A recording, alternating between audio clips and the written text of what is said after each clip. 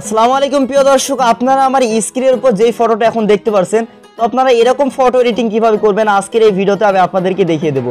তো ভিডিও শুরু করার আগে প্রথমে বলব, অবশ্যই আজকের এই ভিডিওতে একটি লাইক দিয়ে দেবেন, এমনকি আমাদের এই চ্যানেলটিকে সাবস্ক্রাইব করে পাশে থাকা বেল আইকনটি বাজিয়ে দিয়ে অল সিলেক্ট করে দেবেন। বন্ধুরা, শুধুমাত্র যারা পারেন না, তাদের জন্য আজকের এই ভিডিওটি, আর অবশ্যই প্রথম থেকে শেষ পর্যন্ত আজকের এই ভিডিওটি দেখতে থাকুন।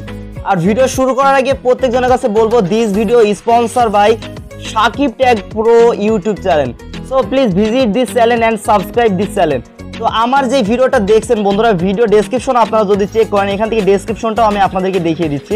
আপনারা যে ভিডিওটা দেখছেন ভিডিও টাইটেলের উপর ক্লিক করবেন। তারপর বন্ধুরা, আমার ডেসক্রিপশনে দেখতে পারবেন Sakib tag pro video link তো আপনারা ওই ভিডিও লিঙ্কে ক্লিক করে সরাসরি এই ভিডিওতে চলে আসবেন। তো এখান থেকে এই ভিডিওতে একটি লাইক দিয়ে দিবেন। বন্ধুরা, আর অবশ্যই এই চ্যানেলটিকে সাবস্ক্রাইব করে পাশে থাকা বেল আইকনটি বাজিয়ে দিয়ে অল সিলেক্ট করে দিবেন। আর যারা যারা ইউটিউবার আছেন, অবশ্যই এখান থেকে কমেন্টে গিয়ে টেকনিক্যাল সাবমিট লিখে দেবেন।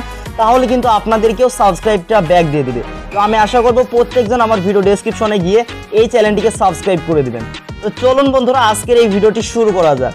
তো প্রথমত আপনাদেরকে একটি অ্যাপ্লিকেশন ডাউনলোড করার প্রয়োজন হবে, সেটার নাম পিকসার্ট তো আপনাদের মোবাইলে থাকলে তো ভালো, না থাকলে আপনারা পিকচার নামে প্লে স্টোরে সার্চ করে ইনস্টল করে ওপেন করবেন। তারপর বন্ধুরা, আপনাদের ফটো পিএনজি ডাউনলোড করার প্রয়োজন হবে সেইটার লিঙ্কও ভিডিও ডেসক্রিপশনে দেওয়া আছে। তো আপনারা জাস্ট ওইখান থেকে ডাউনলোড করে নেবেন। তো এখান থেকে আমি জাস্ট ইন্টারনেটটা বন্ধ করে দিলাম। তো এখন আমি সরাসরি পিকসার্ট অ্যাপ্লিকেশনটা ওপেন করব। পিকসার্ট অ্যাপে আমি ক্লিক করে দিলাম।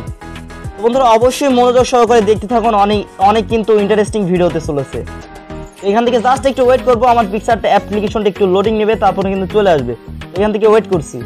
আর তারপর বন্ধুরা, আপনারা এখান থেকে প্লাস আইকনে ক্লিক করে দেবেন। আমি এখান থেকে প্লাস আইকনে ক্লিক করে দিলাম। তারপর আপনারা এখান থেকে হালকা একটু নিচে চলে আসবেন।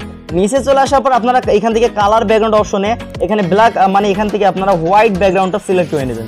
এখান থেকে আমি সিলেক্ট করে নিলাম, তারপর আপনারা কি করবেন এখান থেকে অ্যাড ফটো অপশনে ক্লিক করবেন। এখান থেকে অ্যাড ফটো অপশনে ক্লিক করে আপনারা আপনাদের ফেসবুক প্রোফাইলের স্ক্রিনশটটা একটা দিয়ে নেবেন।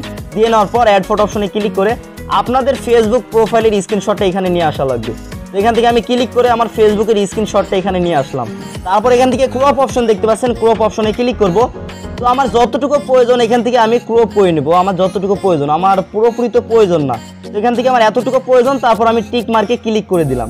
তারপর ডান দিকে আপনারা একটু টান দিলে দেখতে পারবেন এখানে বর্ডার নামে একটা অপশন আছে। তো এখান থেকে নিচের যে ইনার দেখতে পাচ্ছেন, এটা একদম কমিয়ে দেবেন।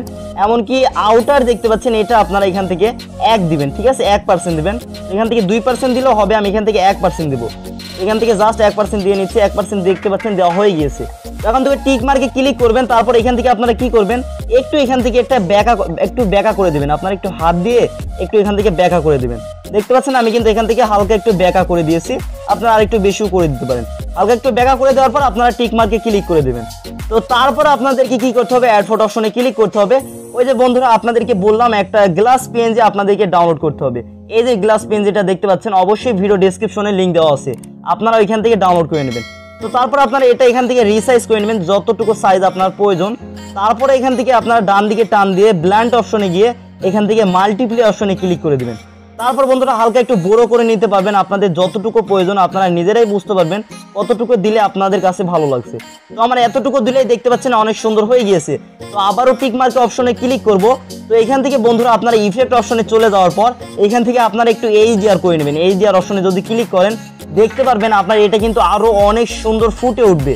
দেখতে কিন্তু আরও অনেক সুন্দর হ্যাঁ বন্ধুরা, তো তারপর আপনারা এখান থেকে টিক মার্কে ক্লিক করবেন, ওপরে দেখতে পারবেন টিক মার্ক আছে।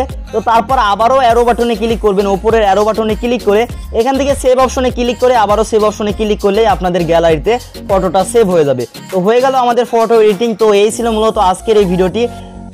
অবশ্যই কেমন লেগেছে কমেন্ট করে জানিয়ে দিবেন। সবাই ভালো থাকবেন, সুস্থ থাকবেন। আমাদের টেকনিক্যাল সাব্বির ইউটিউব চ্যানেলের পাশেই থাকবেন।